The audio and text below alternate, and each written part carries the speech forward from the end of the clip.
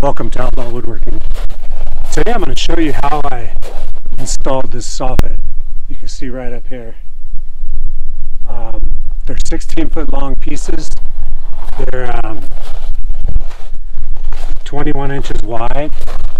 And I'm going to show you how I installed all this soffit um, by myself. And uh, obviously this video is for entertainment purposes only, but it, you can do something like that by yourself. And let me show you how I did it. Work hard, get dough. I can't get no sleep, please make my life more simple. But I wouldn't trade a thing for what I have.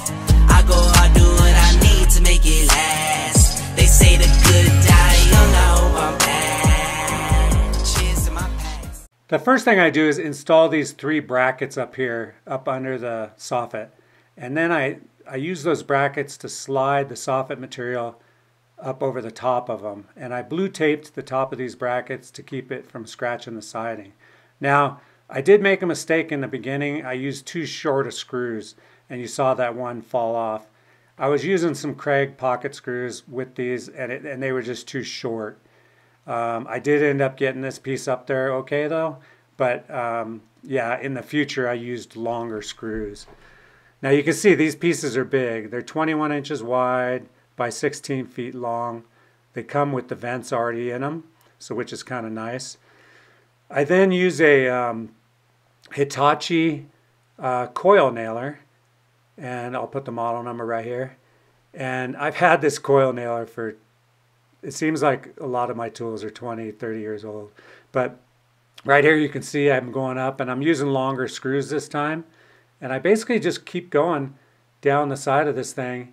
Um, and I'm moving the scaffolding as I'm going. So I'm, I'm using the scaffolding to kind of um, be the stage for sliding the, the soffit material up onto these brackets.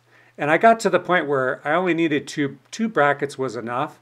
So I basically spread them out a certain distance, screw these up on the wall, and, um, and then slide my soffit material up on there.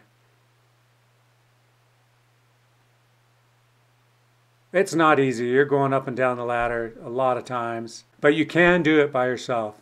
Here you can see I'm bringing the 16 foot. The nice thing about this particular material is you can it'll flex and even though it's 16 feet long, it takes a lot to break it. So it does have some flexibility. Right here you can see I line it up and I'm fishing it above these brackets. And once I put some longer screws in there, I had a lot less trouble. They held they held a lot nicer. Now this this the back of the garage, it's angled, so it's a little tricky to get these things. What I end up doing is um, I figured out that once I get it to where it needs to be, I can put some little blocks underneath the the, the wall side and wedge the material up and then put a screw in it and then I could go down the line and, and make sure it fitted really nice. In order to get the seams lined up really nice, uh, before I start nailing it, I'm using these little blocks. And what I do is I'm basically, because it's sloped roof right there, I put these blocks up high and that keeps all the soffit material flush with the flush with the framing up on the top and then it lines up my seam a lot better. Here's a little better view of what I got going on. So you can see the little block where I'm keeping it up there. And then what I'm what I'm doing is trying to keep these seams nice and tight. Um, it's good to have a little bit of a gap, but you don't need, you know, you want it to look good and be tight. I think there's probably a 16th of an inch or something, pretty small. Right there you can see the Hitachi coil nailer. And I basically go through find the studs and put three nails in there. And then what I do is I also paint them as I go so that I'm I'm not having to come back and and do that. Because when you're moving all this, you want to do everything you can as you go, and then and then basically move your scaffolding down the road. The other thing I do is once I get things nailed, I basically before I move anything, I need to take off the block and the, the little support bracket so that those can get moved down the road also. It's not easy by yourself, but but like I said, this can be done by yourself, and um, I think the soffit is the probably the hardest thing. Um, the rest is pretty easy. I think. Well, I haven't started on the rest of it, but my experience is that these soffits are really underrated. They take they take most of the work, especially if you're using these long pieces. Um, you can see the vents right there. The, I kind of I like this style. Comes with the pre-made vents. Um, yeah, it's pretty nice material. It's got a 30-year finish with a wood texture on it. There I am touching up all the little nail heads. This color is called onyx. It's almost like a black. Um, I thought it would go good with the gray. I've got the metal trim on the bottom and the, you can see the gray wainscot right there. So basically I got two pieces in and I'm going to install this last piece right here. Up the ladder, put on the bracket. You kind of get used to just, uh, you know, in the beginning when you're up on the ladder, you you're a little slow, but as you get rolling, you get you get more confident and better at it. And you just need to make sure that you're real careful, keep your ladder nice and secure. And um, obviously, this video is for entertainment purposes only.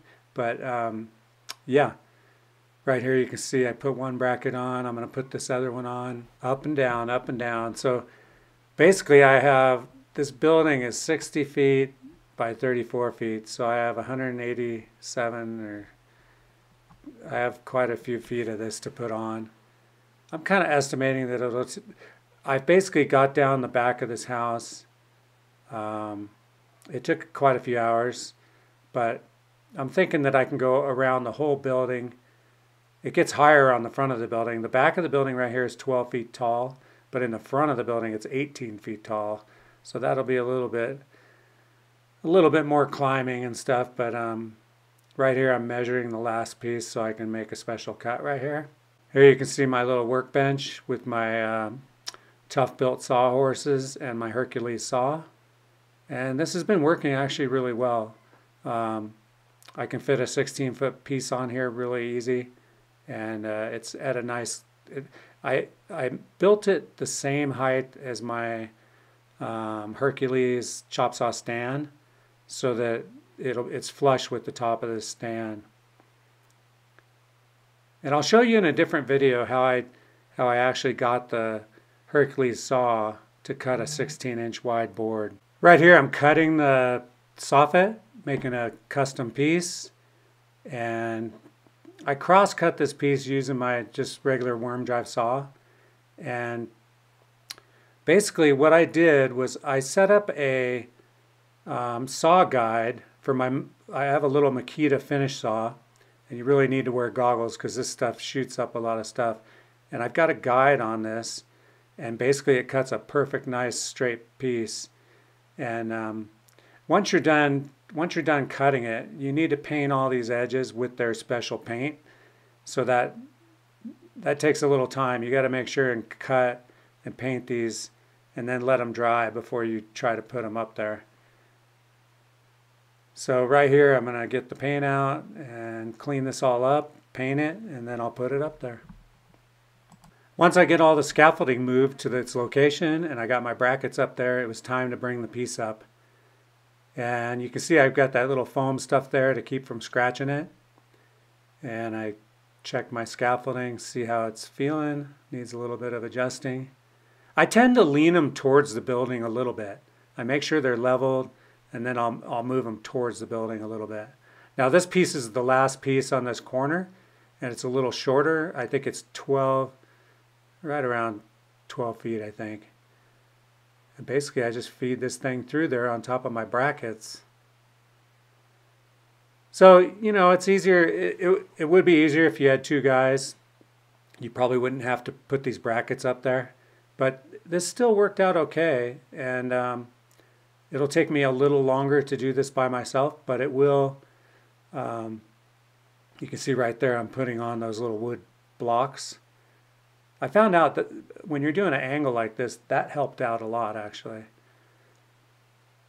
The biggest thing is the seam.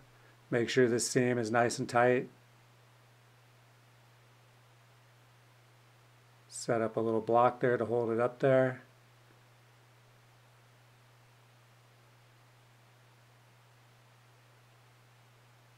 Up and down the ladder. I'll actually be glad when this siding or this, yeah, the siding and soffit is done. This is a big project to do by myself. You know, back when I had my construction company, shit, I'd have probably eight guys doing this job and finish it in a week. But it'll uh, it'll take me probably maybe a month and a half to do this by myself. Right there you can see I'm nailing off the, the last piece of the back of the shop. And I'll go through there and paint it all. And yeah, so you can do the soffit by yourself. Okay, how to install a soffit by yourself. So there it is. The whole back of my garage soffit is installed. And um, yeah, quite a job actually. Um, no easy task, but it can be done. So if you are by yourself, like I am, um, it is possible to do that by yourself. Anyway, I'm not going to bore you with the rest of the soffit because that's going to take me probably another two weeks, the rate I'm going.